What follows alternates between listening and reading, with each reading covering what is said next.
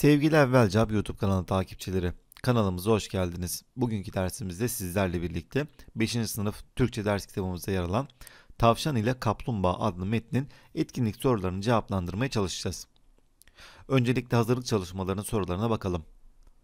Birinci sorumuz, spor karşılaşmalarında tuttuğunuz takımın yenmesi veya yenilmesi sizde hangi duygular neden oluyor? Spor kardeşlik ve barış için yapılır. Önemli olan kazanmak ya da kaybetmekten öte centilmence, dostça yarışmaktır. Elbette kazanan sevinir, kaybeden üzülür ama asıl olan saygı çerçevesinde birbirini kırmadan yarışabilmektir. Sevdiğiniz spor dalı hakkında edindiğiniz bilgileri arkadaşlarınızla paylaşınız. Basketbol sporunun özellikleri Topu yerden 3.05 metre yükseklikteki bir çemberden geçirmeye çalışan beşer kişilik takımların elle oynadıkları oyun. Basketbol aslen Kanadalı olan ve 39 yılını Amerika'da spor öğretmenliği yaparak geçiren Dr. James Naismith tarafından bulundu. İlk basketbol maçı 20 Ocak 1892 günü Springfield YMCA dershanesinde spor salonunda oynandı. Naismith oyununun esaslarını 13 ana maddede topladı. Ülke içindeki işbirliğiyle bu oyun 2 yıl içinde tüm Amerika'ya yayıldı. Amerikalı askerler 1. Dünya Savaşı sırasında basketbolun Avrupa yayılmasında büyük rol oynarlar. Evet arkadaşlar hazırlık çalışmalarına geçtik. Şimdi birinci sorumuzla başlayalım. Tavşan ile kaplumbağa. Tavşan ile kaplumbağa metnini dinlerken öğretmeniniz yavru kaplumbağanın yarışa başladığı bölümde CD'yi durduracaktır. Bu bölümden sonra olaylar nasıl gelişmiş olabilir yazınız. Dinleme sürecinden sonra tahminlerinizi değerlendiriniz. Tavşan ne de olsa yarışı kazanacağını düşünerek biraz dinlenmeye karar verir. Bir ağacın altına oturur, orada uyuyakalır. Uyandığında ise kaplumbağa çoktan yarışı kazanmıştır. Dinlediğiniz metindeki kahramanların davranışlarını arkadaşlarınızla tartışınız. Kendi rol seçiminizi yaparak met metni sınıfta canlandırınız. Arkadaşlar bu e, sınıfta yapılması gereken bir etkinlik. Üçüncü etkinliğimize geçiyoruz. Aşağıdaki deyimleri anlamlarıyla eşleştiriniz. Önce deyimlerimizi okuyalım. Hiç umulmayan, beklenmeyen bir şeyin görülmesi karşısında şaşırmak. Bu arkadaşlar gözlerine inanamamak. Düşünülebilecek duruma gelmek, aklı başına gelmek, kendine gelmek. Kendini tutamayıp yapmak, kendini alamamak. B maddesine bakalım. Anlamını öğrendiğiniz deyimleri birer cümlede kullanınız. Her gece teleskobu ile yıldızlara bakmaktan kendini alamıyordu. Çalınan bisikletine karşısında görünce gözlerine inanamadı. Biraz soluklanıp kendine geldikten sonra anlatmaya başladı. Dinlediğiniz metindeki tavşan ve kaplumbağanın özelliklerini yazınız. Kendini beğenmiş, şımarık, kibirli arkadaşlar e, tavşanımız, alçak gönüllü, kendine güvenen ve azimli kaplumbağamız. B maddesine bakalım. Metindeki hayvanlardan hangisinin davranışını uygun gör görmüyorsunuz? Neden? Tavşanın davranışını uygun görmüyorum. Çünkü kendini beğenmek erdemli bir davranış değildir. Kendini beğenen şımarık kimseler asla hayatta başarıyı yakalayamazlar. Metindeki hayvanlardan hangisinin davranışını uygun görüyorsunuz? Neden? Kaplumbağanın davranışını uygun görüyorum. Çünkü şımarık tavşan karşısında alçak gönüllü davranmış, umutsuzluğa düşmeden mücadelesini tamamlamıştır. 5. etkinlik. Dinlediğiniz metne yeni bir başlık öneriniz. Ummadık taş baş yarar. 6. etkinlik. Aşağıdaki soruları dinlediğiniz metne göre cevaplayınız. Kaplumbağa tavşana ne teklif etmiştir? Yarışmayı, yarışmayı teklif etmiştir. Tavşan bu teklifi nasıl karşılıyor? Kaplumbağayı küçümsüyor fakat sonra yarışı kabul ediyor. Yarışı kim kazanıyor? Bu yarışı kazanmasının sebebi nedir?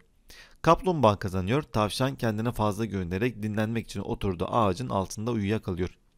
Bu olaydan nasıl bir sonuç çıkardınız? Kimseyi küçük görmemeliyiz. Bir insanın başarılı olabilmesi için nasıl davranması gerekir? Örnekler vererek açıklayınız.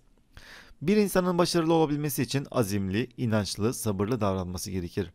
Mesela Türkçe dersinden yüksek not almak için önce yüksek not alabileceğimize inanmalı, derslerimize zamanda çalışıp öğretmenimizi can kulağıyla dinlemeli, ödevlerimizi yaparken sabırlı davranmalıyız. Ancak bu şekilde başarılı olabilir. Hiçbir öğrenci bütün sene yatıp dersleri dinlemeyip ödevlerini yapmayıp yüksek puan alamaz. Yüksek puan alacağını inanmayan bir kişi zaten hiç çalışmaz. Yedinci etkinliğimiz aşağıdaki soruları cevaplayınız. Dinlediğiniz metinde hayvanlar arasında geçen bir olay anlatılmaktadır. Metinde anlatılanlarla günlük hayatı karşılaştırabilir miyiz? Karşılaştırabiliriz. Bu metin gerçek hayattan mı alınmıştır yoksa kurgu mudur açıklayınız. Kurgudur. Bu metnin varlık kadrosunu yazınız. Tavşan ve kaplumbağa. 8. etkinlik. Aşağıdaki kelimelerden birini seçiniz. Seçtiğiniz kelimeyi kullanarak bir konuşma yapınız. Saygı, başarı, empati, sabır, azim. Arkadaşlar biz saygıyı seçtik. Sevgili arkadaşlar, saygı insanlara ne kadar değer verdiğimizi gösterir. Birbirimizi sevmek zorunda değiliz ama saygı durmak, duymak zorundayız. Çünkü sevgi insanın içinde yaşadığı bir duygudur. Bu duygunun dışa çıkması elbette güzeldir. Fakat sevginin gösterilmemesi insanlara zarar vermez. Lakin sakin saygı duygusu dışarı çıkmak zorundadır. İnsanlar birbirlerine karşı saygılı davranmazlarsa o toplum parçalanır. Saygı insanlar arasında barışı ve birbirlerine sevgi beslemelerine imkan sağlar. Toplumsal hayatta sevgi ve saygının eksilmesi huzursuzluklara yol açar. Saygının olmadığı yerde ne dürüstlük olur ne de huzur. Bir toplumun bir arada kalması, birbirini anlaması, sevebilmesi ve kabullenebilmesi ancak saygıyla oluşur. Saygının olduğu yerde barış, güven, mutluluk, anlayış ve yardımlaşma, birlik ve huzur olur. Sağlıklı ve huzur dolu bir toplumun temelinde saygı vardır. Eğer böyle bir ortamda yaşamamızı sürdürmek istiyorsak, sevmesek de herkese karşı saygılı davranmak bizim birinci görevimiz olmalıdır. Beni dinlediğiniz için teşekkür ederim. Dokuzuncu etkinliğimiz Aşağıdaki kelimeleri istenilen iki getiriniz ve kelimeyi tekrar yazınız. Bilmiyor, bilmiyor. Bekliyor, bekliyor. Söylüyor, söylüyor. Anlatmıyor, anlatmıyor. Ünlü daralması vardır arkadaşlar. Buradaki e, a'nın i, i, u, ü olması e, söz konusudur. Bu kelimelerin ek almadan önceki son harfi nedir? A, E. Bu kelimelere hangi ek getirilmiştir? Yor eki getirilmiştir. Bu kelimeler ek getirildiğinde kelimede nasıl bir değişiklik olmuştur? Son harfleri dar ünlüye dönüşmüştür. Aşağıdaki cümlelerde ünlü daralmasının olduğu kelimeleri işaretleyiniz. Dedemin bana anlattığı o iki çocuğun yaşam öyküsünü bir türlü unutamıyorum. Unutamıyorum değil arkadaşlar, unutamıyorum. Göçmen kuşlar havaların ısınmasıyla yurdumuza dönmeye başlıyor. Başla yor değil arkadaşlar, başlıyor. Senin bu şiiri okuyacağını bilmiyordum. Bilmiyordum değil, bilmiyordum. Yemyeşil doğayı, masmavi gökyüzünü özlüyoruz. Özleyoruz değil, özlüyoruz.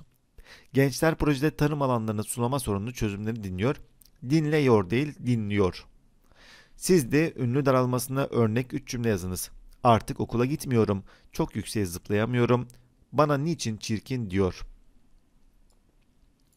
11. etkinliğimiz aşağıdaki cümlelerde yay ayraçla belirtilen yerlere uygun noktalama işaretlerini yazınız. Bu alaylı konuşma kaplumbağayı sinirlendirir. Fakat sinirlendiğini belli etmek için güler sonra da çok tuhafsın der. Yavaş hareketini kim söylüyorum? Arkadaşlar burada e, gerekli noktalama işaretleri kırmızı e, renkle gösterilmiştir. Bu şekilde yazmanız gerekiyor. Konusu azim ve kararlılık olan bir fable yazınız. Fable'ınızda aşağıda verilen atasözleri ve özdeyişlerden uygun olanını kullanınız. Açık ağız aç kalmaz, akan su yosun tutmaz, er olan ekmeğini taştan çıkarır. Charles Sel düşünürken dikkatli ve uygularken kararlı olun. Hazreti Ali azim ve sebat insanların en büyük yardımcısıdır. Arkadaşlar şöyle bir yazı hazırladık. Dilerseniz bu yazıyı birlikte okuyalım. Ekmeğini taştan çıkarmak. Kolay mıdır sanırsınız hayat denilen bu karmaşada ayakta kalabilmek? Hiç de kolay değildir. Çünkü hayat insanı bir oraya bir buraya savurmaktadır. Bakın etrafınıza ekmek kavgasını yapan insana dikkatlice bakın. Göreceksiniz ki er gibi çalışarak alın teri dökerek ekmeğini taştan çıkaran nice yiğitler namuslu vatandaşlar vardır. İşte ekmeğini taştan çıkaran Karınca Volkan'ın hikayesidir bu. Karınca Volkan sabah akşam çalışır didinir ona verilen işleri kırmızı karınca dostu Hasan ile hep zamanında doğru şekilde bitirirlermiş. Ama gel gör ki onlar alın teriyle çalışırken bir de yan gelip yatan sabah akşam lak lak eden bir çirkin karınca asrın varmış. O istermiş ki sabah akşam balık piş ağzıma düş. Oynasın takısın işleri de Volkan ile Hasan yapsın. Gazi kovmuş asrını. Asrına ne yapsın? Volkan ve Hasan'a gitmiş. Kıramamışlar. Hep beraber büyük karınca amcaları devrime gitmişler. Devrim affetmiş asrını ama ders olsun diye kulağını çekmiş. Sonra mutlu mesut yaşayan Volkan ile Hasan'ın aksine asrın bu olaydan sonra 3 gün sonra ölmüş. Yazma süreci tamamlandıktan sonra yazınızı aşağıdaki ölçüye göre değerlendiriniz. Arkadaşlar buradaki ölçüye göre işte yazma konumu seçebilirim. Yazma amacımı belirleyebilirim. Yazıma uygun başlık oluşturabilirim. Konumla ilgili duygu ve düşüncelerim için bir taslak oluşturabilirim. Yazımda uygun geçiş ve bağlantı ifadelerini kullanabilirim. Yazımda yer, zaman, kişi, olay unsurlarına yer verebilirim. Hikayemde serim, düğüm ve çözüm bölümlerini oluşturabilirim. Yazımda dilimize henüz yerleşmemiş kelimeler yerine bu kelimelerin Türkçe karşılıklarını kullanmaya dikkat edebilirim. İmla kurallarından ve noktalama işaretlerinden uygun yerlerde yararlanabilirim. Kullandığım kelimeleri ses olaylarına dikkat alarak doğru yazabilirim. TDK Türkçe Sözlük ile yazım kılavuzunda yararlanabilirim. Yazımın içeriğini atasözü, deyim gibi kalıplaşmış ifadeleri kullanarak zenginleştirebilirim. Yazdıklarımı imla ve noktalama bakımından kontrol edebilirim. Yazımın içeriğini tutarlı bir metin oluşturma yönünden düzenleyebilirim. Yazma amacıma ulaşma durumunu sorgulayabilirim. Bir sonraki ders hazırlık bölümü konusu iyilik olan Türk ve dünya masallarından örnekler bularak sınıfa getiriniz. Arkadaşlar sadece kısa bir giriş yapalım. Evvel zaman içinde, kalbur zaman içinde develer top oynarken, eski hamam içinde, horozlar tellal iken, pireler hamal iken, ben anamın beşiğini tıngır mırgır sallarken, anam düştü beşikten, babam düştü eşikten. Bir kaptım aşağıya dolandım dört kişi derken ülkenin birinde bir köy varmış. Köyün çıkışında yıkılmak üzere olan çok eski bir ev varmış. Evde küçük bir kız çocuğu ile ihtiyar annesi yaşamaktaymış. Küçük kızın simsiyah, upuzun, kıvırcık belini döven saçları varmış. Yaşadığı kö- köyde herkes ona kıvırcık saçlı kız diyormuş. Arkadaşlar bu masalımızın devamı ee, hemen e, bu videonun altına koyacağımız linkte mevcut. O linke tıklayarak yani evvelcap.com web sitesini ziyaret ederek masalın tamamına ulaşabilirsiniz. E, derslerinizde ve hayatınızda başarılar diliyoruz arkadaşlar. E, Evvelcap YouTube kanalına abone olmayı ve kanalımızı arkadaşlarına tavsiye etmeyi unutmayınız. Evvelcap ailesinden saygılar, selamlar.